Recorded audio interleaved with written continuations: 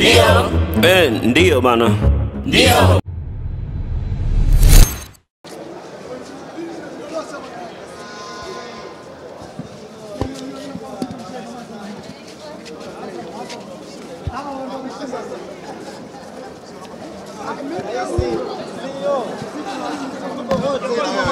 Tumeongea asubuhi. Asubuhi tumeongea. Sisi tumeongea asubuhi. Ah, mimi naye hatujaongea. Hamna shida. Hapa hapa. Kiongozi, nini maana ya hizi Kiongozi, kwanza tuambie uh, kwa jicho lako namna ambavyo mchezo umeuona na mapokeo mlivyopokea ya mchezo ya, ya matokeo ya mchezo mzima. Ah, Tunashukuru Mwenyezi Mungu tumemaliza mechi salama, wachezaji wetu wametoka salama. Mechi ilikuwa nzuri ambayo ilibalance pande zote mbili. Yanga wamecheza vizuri sana, lakini sisi pia tumecheza vizuri sana. Kama ukiangalia tulikuwa tuna head coach kwa takriban wiki moja nzima, lakini kocha Badru ambaye alikuwa kashika timu kwenye mazoezi na kali na benchi yote kwa la ufundi kwa pamoja wamefanya kazi kubwa kuitengeneza timu kuiweka katika shepu nzuri kuja kupambana kwenye mechi kubwa kama hii na Yanga ambayo timu kubwa, timu ambayo imekaa msimu karibia huu wa pili unaenda, timu yao ina umoja ule ule. Kwa hiyo tunashukuru kwa kupata pointi moja, tulitaka tushinde, lakini Mwenyezi Mungu atuandikia kuchukua pointi moja. Wakati wa mabadiliko, Sospeter Bajana alionyesha kutoridhishwa na alichokifanya uh, alichokifanya mwalimu na kupitiliza moja kwa moja katika vyumba vya kubadilishia nguo. Nyinyi kama uongozi, hili tukio mnalipima vipi? Uh, unajua Bajana leo mechi alikuwa kaishika vizuri na alikuwa yeye ndio key player.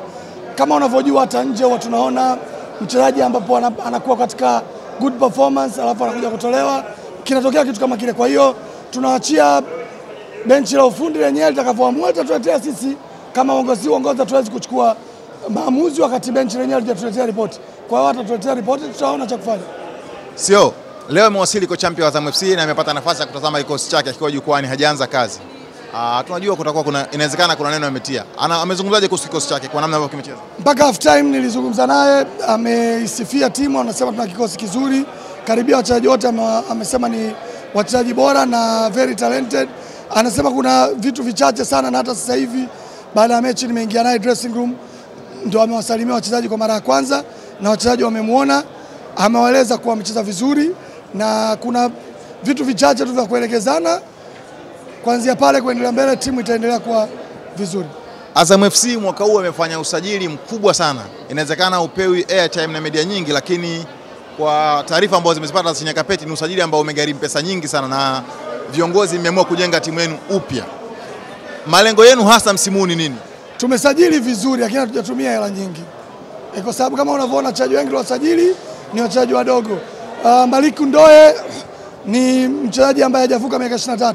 Kipre Tape wote ni wachezaji upcoming ambao huku watakuja kutupa kitu na baadaye sisi tunaweza ku, kupata return kutoka kwao. Kwa hiyo tumefanya usajili bora ambao tunaona mpaka sasa hivi unaweza kutulipa. Kwa hiyo kikubwa ni timu kuwa pamoja na kushikamana mpaka dakika ya mwisho.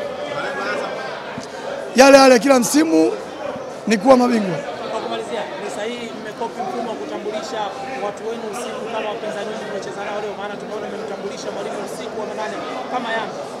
Ni huyo mmoja, na kwa sababu mpaka jana mchana tulikuwa ndio tunamaliza makubaliano na yeye, akaelekea kupanda ndege na, na kuruka kuja huko, kwa hiyo kulikuwa hamna muda, ikabidi lazima atambulishwe mdauli.